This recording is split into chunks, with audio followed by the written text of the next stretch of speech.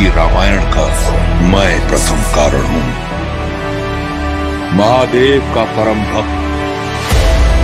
दोस्तों, फ़िल्म ब्रह्मास्त्र की सक्सेस के बाद Ranbir Kapoor film Ramayan box office पर बहुत जल्द लेकर आने वाले हैं। जब से रामायण फ़िल्म की अनाउंसमेंट हुई है, तब से ऑडियंस के बीच फ़िल्म को लेकर काफ़ी क्रेज देखने को मिल रहा है। दोस्तों 600 करोड़ रुपए के बजट में बनाई गई थी फ़िल्म आदिपुरुष, लेकिन आदिपुरुष फ़िल्म को बुरी तरह से ऑडियंस ने नकार दिया था। लेकिन अब 800 और 1000 करोड़ के बीच में बनाई जा रही है फ़िल्म रामायण। दोस्तों, नितेश तिवारी द्वारा डायरेक्टेड इस फ़िल्म में काफ़ी कुछ नया और दिलचस्प देखने को आपको मिलने वाला है। जी हाँ दोस्तों, आपको बता कि काफ़ी वक्त से नितेश तिवारी की रामायण को लेकर बातें सामने आ रही थी, जहाँ ये तो साफ़ था कि भगवान राम के किरदार में रणबीर कपूर नज़र आएँगे, लेकिन सीता के किरदार में आलिया भट्ट का नाम सामने आ रहा था। पर अब दोस्तों, पब्लिक की डिमांड पर साई पल्लवी का नाम कन्फर्म कर लिया गया है।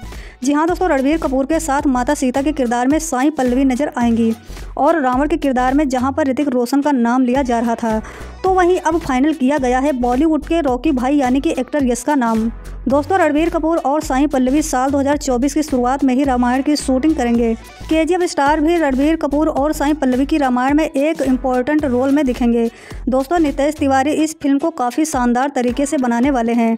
साथ ही साथ, दोस्तों, उन्होंने ये भी कहा कि ये भारत का महाकाव्य है और इस पर फ़िल्म बनाना मेरे लिए सौभाग्य की बात है।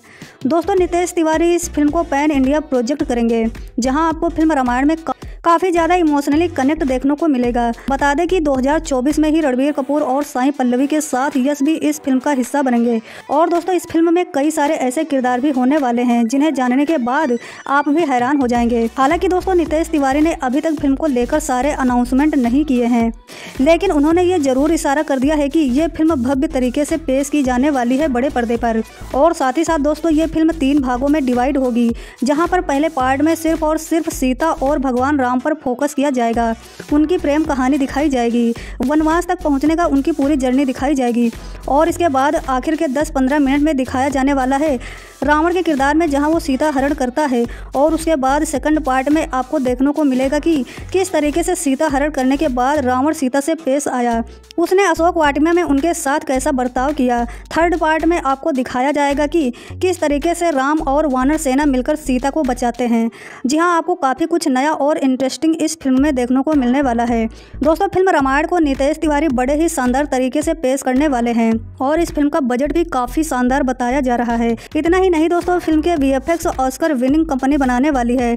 जैसे कि दोस्तों, ये कयास लगाए जा रहे हैं कि ये फ़िल्म बजट के साथ साथ बड़ी स्टार कास्ट को भी पर्दे पर इंट्रोड्यूस कर रही है। फ़िलहाल दोस्तों, रणबीर कपूर की फ़िल्म रामायण आप देखने के लिए कितने ज़्यादा एक्साइटेड हैं? दोस्तों, अपनी राय हमें कमेंट बॉक्स में ज़रूर बताइएगा। और ऐसे ही बॉलीवुड अपडेट से जुड़े रहने के लिए हमारे YouTube channel S Bollywood news को ज़रूर सब्सक्राइब कीजिएगा।